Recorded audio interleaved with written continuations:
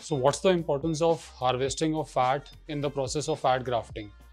During harvesting the fat, we have to ensure that the fat cells are viable. We have to harvest it as atraumatically as possible. And uh, for that, we use Vaser. What Vaser does is it basically softens up the fat. It makes it soft. It dislodges it from its architecture so that when we are sucking it out, we have to use minimal force to aspirate it.